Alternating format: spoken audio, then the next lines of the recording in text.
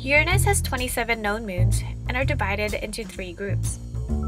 The smaller inner satellites, the five major moons, and the small outer moons that rotate backwards.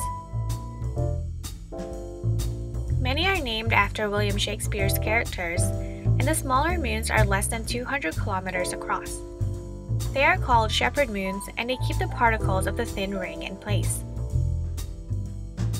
Two of these moons are Cordelia and Ophelia. Cordelia is the innermost moon orbiting the inner ring and is 40 kilometers in diameter. It was discovered in January 20, 1986, and was one of the 10 moons that were discovered when the Voyager 2 spacecraft flew by the planet and transmitted images. Ophelia is 42 kilometers in diameter. It was discovered at the same time as Cordelia and it orbits the planet's outer ring.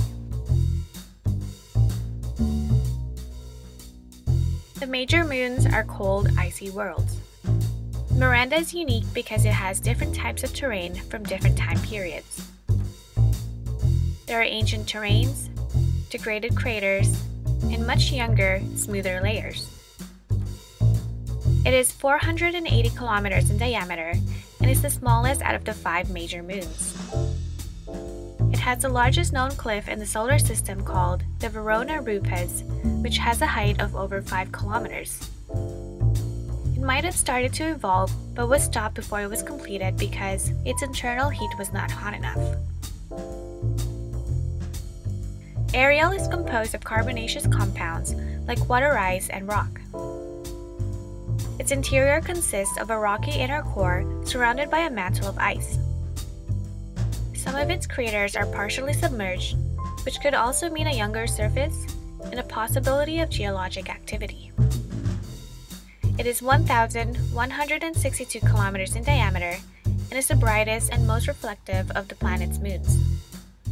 It is second closest to the planet, orbiting at a distance of 190 kilometers. Four Voyager 2 images were combined to produce this image of Ariel in 1986. The spacecraft was 130,000 kilometers away when the photographs were taken. Umbriel is the darkest of the major moons and reflects very little light. Many astronomers actually thought that it was smaller because of this, but the moon is slightly larger than Ariel and is 1,169 kilometers in diameter. So far, this is the only image that we have of Umbriel, which was also taken by the Voyager 2 in 1986.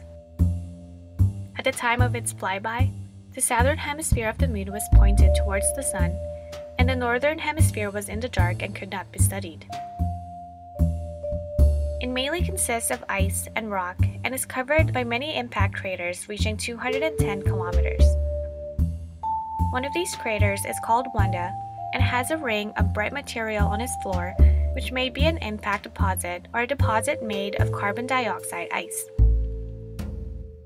Oberon has an icy surface that is dark and reddish in color caused by space weathering. This occurs when a surface is hit by charged particles and micrometeorites as the solar system ages.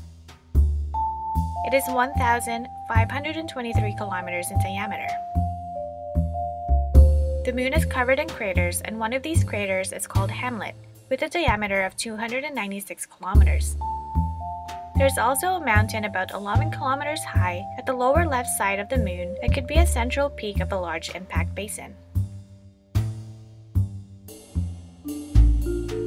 Titania is made up of mainly rock and ice, like Ariel and Umbriel, and is covered with impact craters.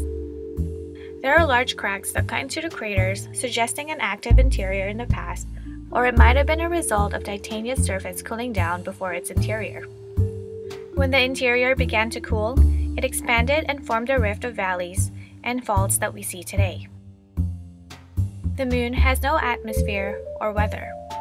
Titania is the planet's largest moon and has a diameter of 1,578 kilometers.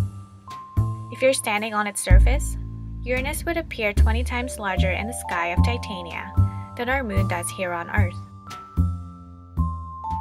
Currently, there are no plans to send a spacecraft to Uranus and its moons in the near future. But there are proposals to send small CubeSats, which are miniaturized satellites to reduce the cost of getting a spacecraft out that far. They will be deployed to orbit the planet and its moons including Miranda, Umbriel, and Oberon. This mission would give us more information about the planet's magnetic field, its tilt, and as well as its composition and formation of its moons. Thanks for watching and keep looking up.